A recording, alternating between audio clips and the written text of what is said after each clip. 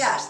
Aquí estamos de nuevo en Ovejuela, esta vez con Berta, que nos va a hacer un plato muy típico urdano que gusta muchísimo a todo el mundo que viene, que es, es la ensalada De naranja. La ensalada de naranja. Chorizo, que lo tenemos que freír primero. Sí, hay Antes que, de darle, echárselo a la- hay que darle unas vueltas para que, para salga el... Con nuestro aceite de oliva, como siempre decimos. Eso. Solo un momentito, porque si no se pone muy duro. Solo así, ¿vale? Mira, ¿ves? El caldito que está solo. Mira, ahora se, se, Se corta a cachitos. Se corta como tipo lámina. Porque así, así suelta el, el- el zumo, Ajá. ¿vale? Y está mucho mejor, claro.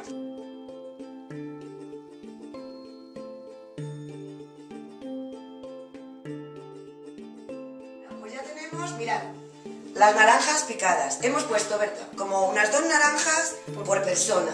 Claro, depende de que se coma como plato único, O si es si como acompaña- acompañamiento tipo ensalada que se pone en, medio de la mesa. Nosotros lo estamos haciendo como plato único. Y van dos naranjas por persona. Ahora le vamos a picar Ahora le vamos a picar un diente de ajo, pero ves, cortadito, menudito. Poquito de limón. Decís que muy poquito, ¿no? Que si no sabe muy fuerte la ensalada. A mí no me gusta mucho. por gustos.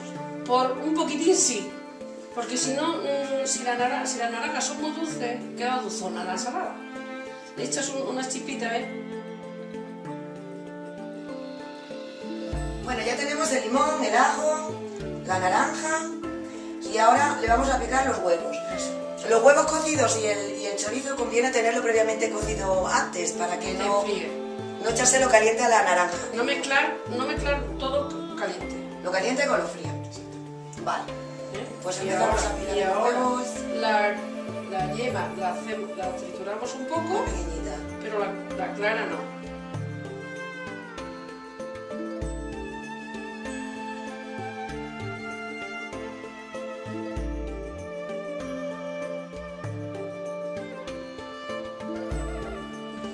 Bueno, ya tenemos las naranjas, el ajo, el limón y los huevos cocidos, que igual que hemos dicho que dos naranjas por persona es un huevo cocido por persona. Y ahora ya que hemos dejado que el chorizo, que huele, que esto es una delicia, un bocadillo ahora calentito.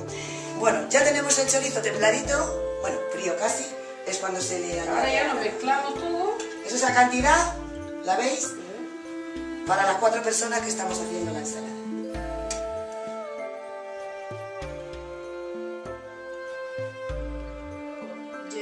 Sal al hervirlos Ajá. y el chorizo tiene sal, ¿vale?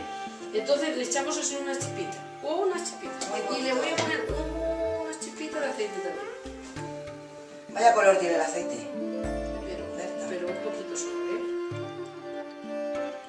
Esta ensalada Berta es de toda la vida, de por aquí de las Cortes. Mm, De toda la vida. más de- moderno. No, no, de toda la vida. Mm, Yo, bueno, se hacía mucho, claro, en invierno, cuando había naranja. Claro. Vale, no, aquí antiguamente no vendían vendiendo muchas cosas, pero eso de toda la vida. Y, y hay gente que a- le echa bacalao.